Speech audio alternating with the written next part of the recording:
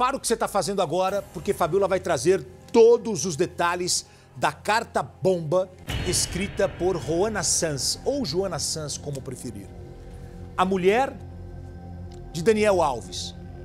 Ela publica uma carta, é um desabafo, é um anúncio, e o que ela quer dizer com esta carta que já está traduzida nas mãos de Fabiola Hypert.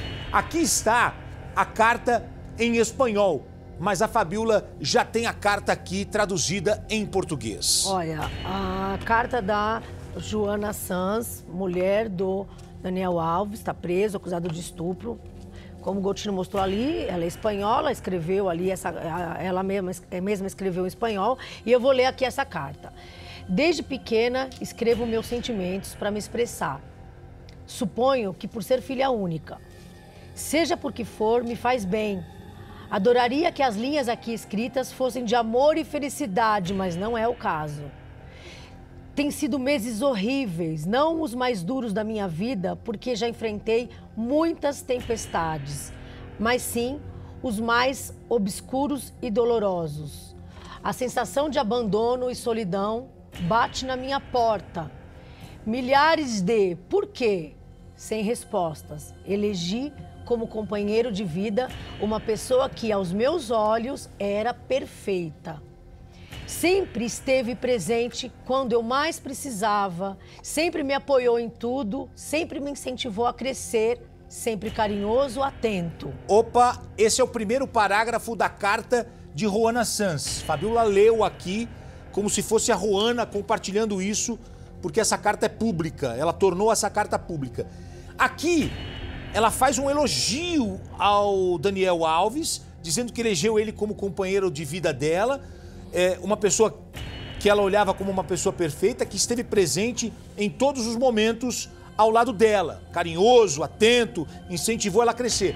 Mas presta atenção agora no segundo parágrafo que a Fabiola vai compartilhar com a gente. Me custa muito aceitar que essa pessoa poderia me quebrar em mil pedaços. Acredito que vai custar anos da minha vida tirar da minha memória o jeito dele me olhar como se eu fosse a mulher mais incrível do mundo. E, por sim, ela fala, né, uma palavra, um, palavrão, né? Sim, eu sou incrível. Sou incrível porque sou trabalhadora, independente, inteligente, detalhista, carinhosa, divertida, fiel e humana. Tão humana que, apesar do vazio que me causou, continuo aqui ao seu lado. Sigo e seguirei estando, mas de outra forma. Olha, esse é o segundo parágrafo. Aí você repara que ela continua enaltecendo o, o, Daniel Alves, a relação, mas que ela está com o coração partido, quebrada em mil pedaços. Ela acredita que vai custar anos da vida para ela tirar da memória o Daniel Alves mas aí ela já começa a trilhar a conversa por um caminho. E a última frase dita pela Fabiola chamou a atenção. Sigo e seguirei, estando ao seu lado, mas de outra forma. Ela já dá um indício de que as coisas estão mudando. Terceiro e último parágrafo, Fabiola. Eu amo e o amarei para sempre. É, quem diz que um amor se esquece está se enganando ou não amou de verdade. Mas eu amo, respeito e valorizo muito mais a mim mesma. Então ela fala: eu amo, mas eu valorizo mais a mim mesma, me amo mais. Perdoar alivia. Então fico com o mágico e encerro uma etapa da minha vida que começou no dia 18 de maio de 2015. Dou graças às oportunidades e aprendizados que a vida me dá, por mais difíceis que sejam.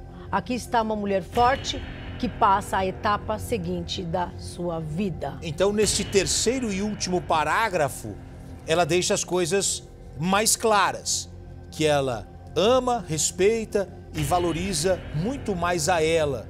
Perdoar alivia, mas ela vai encerrar uma etapa da vida que começou no dia 18 de maio de 2015. O que, que começou no dia 18 de maio de 2015? O casamento. O casamento e ela dá graças às oportunidades e aprendizados mas ela vai passar a etapa seguinte da vida. O que, que ela quer dizer aí, Fabiola? Que acabou. Acabou. Ela encerra aí, por mais que ame, pode até tentar perdoar, mas ela diz que ela, ela ama mais a ela mesma e se respeita ainda, mais Dani- ainda. Daniel Alves é acusado de estupro. Está preso. O julgamento vai acontecer entre um ano e meio e dois anos. Renato Lombardi acabou o casamento. Muita gente esperava que esse casamento ia acabar até antes. Mas ela, ela, ela seguiu até o dia de hoje, Então. quando ela fez essa declaração. Mas ela estava fragilizada porque a mãe tinha morrido uma semana antes. A mãe dela morreu uma semana antes da prisão, depois, uma semana depois, prenderam o Daniel. E aí dá para entender nessa carta que foi escrita com do tipo da, da a profundidade da carta, dizendo o seguinte: olha, ela conta que foi muito bom, foi ótimo, ela entende de outra maneira e acabou. E acabou mesmo, né? Porque ela tem que seguir a vida, ela tem o quê? 20, 29 anos. é, não chega a 30 anos, nem isso. E aí acaba, acaba, e ela continuou com a carreira, tanto é que ela mudou para Paris. Modelo, Olha, né? Paris. Eu publiquei essa carta nas redes sociais. o- a- a- a- por exemplo, a Cláudia Dandretta. Ela diz aqui, ó. Ela merece ser feliz. Não precisava disso. É, Débora Cristina Buoro.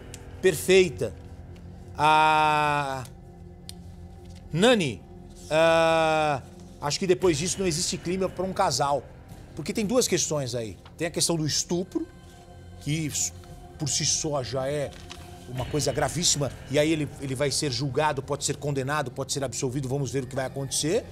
Mas tem a questão também do casamento, da traição. E a questão da Porque já foi confirmada a- a- a que ele estava. a- a- em algum momento ele disse que foi consensual. Então tem a traição do casamento. Ele é casado. É questão da mentira, porque no- ele deve ter me dito para ela, isso não é verdade. Não é verdade. Não. E aí, Isso. Ele diz, ele diz que não aconteceu nada, depois ele diz que foi consensual, então ele vai mentindo para a mulher que ainda tem essa expectativa da condenação ou não do estupro, que é a acusação principal, obviamente, porque tem uma vítima do outro lado. É um ele, tá, vi- ele tá preso, o Caio me falou aqui, desde 20 de Janeiro. janeiro. 20 de janeiro. Vamos lá, Fabiola Hypert trazendo aí a carta de Roana Sanz.